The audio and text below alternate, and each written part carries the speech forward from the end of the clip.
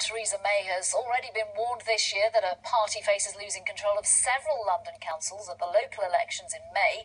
But one she would still have been expecting to hold on to is Barnet, the North London borough that contains the constituency once represented by one Margaret Thatcher. Yet, even there, some pollsters are predicting a Labour win over the Tories.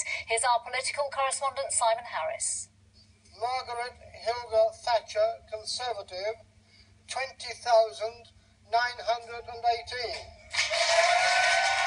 When Margaret Thatcher became Britain's first woman Prime Minister in 1979, the voters of Finchley returned her to Parliament with a healthy majority of almost 8,000.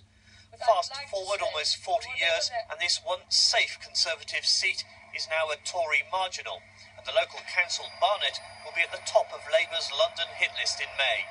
But Barnet might not be a walkover. There is the worry about Labour being seen as anti-Semitic. Barnet's outer London suburbs include Finchley and Golders Green. Many Jewish voters are deeply suspicious of Labour under Jeremy Corbyn. So Labour councillors are on a mission to win hearts and minds ahead of the elections. We put forward that Barnet should follow the uh, Holocaust Education Trust definition of anti-Semitism. One of our candidates is a rabbi. The Tories have been in charge here for 16 years, but their control of Barnet hangs by a thread. The party has a majority of just one. The decision to outsource some services to the private firm Capita has been particularly controversial. Not that the current council leader is ready to concede defeat. The services are good. By and large, they're good. I mean, there are obviously there are always cock-ups in every organisation, and we have our share. But it's a question of how you deal with them and how you put them right. And I think we've been a successful council, giving people good value for the money they spend.